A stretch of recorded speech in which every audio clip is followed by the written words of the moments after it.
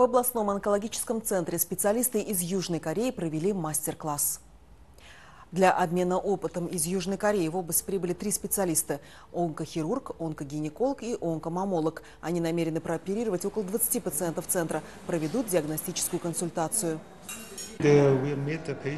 Вначале мы встретились с пациентом и ознакомились с его историей болезни, провели успешную операцию на щитовидную железу.